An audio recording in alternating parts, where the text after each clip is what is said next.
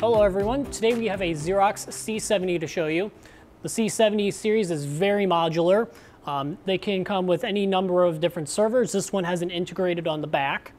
For the feeding, this one has a dual high cap feeder. Um, you can have as simple as a tray 5 feed module to a small single letter sized high capacity tray to something as big as this. Over here we have the C70 engine with the toner above it, dual blacks.